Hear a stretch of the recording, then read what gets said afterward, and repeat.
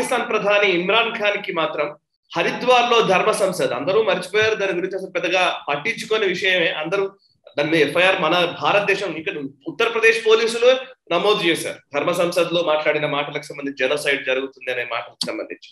So Imran Khan మాత్రం tweet చేస్తారు ఈ విషయాన్ని. దీన్ని ఎట్లా చూడాలంటారు? ఇమ్రాన్ ఖాన్ ట్వీట్ చేశాడు. ఇమ్రాన్ ఖాన్ ట్వీట్ చేసిన ఆల్మోస్ట్ సేమ్ లైన్స్లో జావేద్ అఖ్తర్ కూడా ట్వీట్ చేశారు. సేమ్ కరెక్ట్ యాక్చువల్గా సోషల్ మీడియాలో ఇద్దరిని కంపారిజన్ జరుగుతుంది. కంపారిజన్ కూడా జరుగుతుంది. ఆవిడకి షబాన్ ఆజ్మీ ఏదో చిన్న యాక్సిడెంట్ అయ్యి కాలు దెబ్బ తగిలితే మోదీ గారు ట్వీట్ చేసి ఎలా ఉన్నావు అమ్మా? అని ఆయన ట్వీట్ చేశారు. దానికి ప్రతిస్పందన ధర్మ సంస్థ జరిగిన దానికి మీరు ఎందుకు మాట్లాడట్లేదు? మీరు స్పందన ఎందుకు చేయట్లేదు అని జావేద్ అఖ్తర్ మోదీ గారిని తిడతారు. సో ఇప్పుడు దీంట్లో మనం చూస్తే కనుక నిజంగా మోదీ గారు ప్రతిదాని మీద ఆయన స్పందిస్తూ ఉండాలా? ఎవరో ఒక ప్రైవేట్ ఆర్గనైజేషన్ వెళ్ళి వాళ్ళు ఏదో మాటలు చేసే వాళ్ళు ఏదో స్టేట్మెంట్ ఇచ్చారంటే కనుక దానికి వ్యతిరేకంగా చట్టాలు ఉన్నాయి. దానికి వ్యతిరేకంగా ఎవరు చేయాలో కోర్టు ఉన్నాయి. చూసుకుంటాయి. ఇప్పుడు ఫర్ ఇన్స్టెన్స్ సర్ తన్సే జుదా అని చెప్పి ఎన్నో స్టేట్మెంట్లు ఎన్నో ర్యాలీల్లో ముస్లిమ్స్ చెప్పారు. దానికి వ్యతిరేకంగా కూడా మరి మోదీ గారు మాట్లాడాలి కదా మరి? హిందువులు దాన్ని కూడా ఎక్స్పెక్ట్ చేస్తారు కదా? ఆయన దీని గురించి మాట్లాడదు దాని గురించి మాట్లాడదు ఇది ఒక ఇండిపెండెంట్ దేశం. మీరు కనుక దీంట్లో చట్టాన్ని ఉల్లంఘిస్తే చట్ట చట్టం దాని పని చేసుకుంటూ పోతుంది అది స్టేట్ గవర్నమెంట్ పరిధిలో ఉంటుంది. ప్రతి దానికి సెంట్రల్ గవర్నమెంట్ కనుక రెస్పాండ్ చేస్తే ఇంకా స్టేట్ గవర్నమెంట్ ఎందుకు? లా అండ్ ఆర్డర్ మిషనరీ ఎందుకు? దీని మీద ఎఫ్ఐఆర్ లాడ్జ్ అయినాయి అయినాయి. అందరి మీద కేసులు నమోదైనాయి ఇంక్లూడింగ్ ఆయన వసీం రిజ్ రిజ్వీ పేరు మీద కూడా కేసు నమోదైంది. ఆయన రీసెంట్గా హిందూ మతంలోకి రావడం ఆయన దాని ఆ ధర్మ సంసద్లో ఆయన కూడా పార్టిసిపేట్ చేశారు. షియా వాక్ బోర్డ్ ఫార్మర్ చైర్మన్.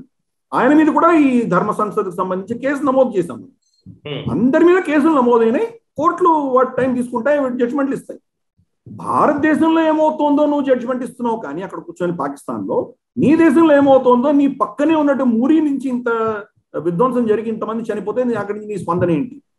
అక్కడ జరుగుతున్న మైనారిటీల వ్యతిరేకంగా జరుగుతున్నటువంటి వాళ్ళకి జరుగుతున్నటువంటి కష్టాలు వాళ్ళకి జరుగుతున్నటువంటి మానవ హక్కుల ఉల్లంఘన గురించి నువ్వు ఎందుకు మాట్లాడు వాళ్ళ ఇస్లామాబాద్ పక్కనే ఉన్నటువంటి ఒక చర్చిలో వాళ్ళు ముస్లిమ్స్ వచ్చి టెస్ట్ వేసుకొని వచ్చి అక్కడ నమాజ్ చేస్తుంటే కనుక యూరోపియన్ యూనియన్ నీ మీద ఉన్నటువంటి జనరల్ టారిఫ్ కన్సెషన్స్ వాళ్ళు విత్డ్రా చేశారు. దాని గురించి నీ స్పందన లేదు. మైనారిటీల హక్కుల గురించి మాట్లాడే అధికారం నీకు లేదు. భారతదేశంలో ముస్లింల మైనారిటీలు కాదు.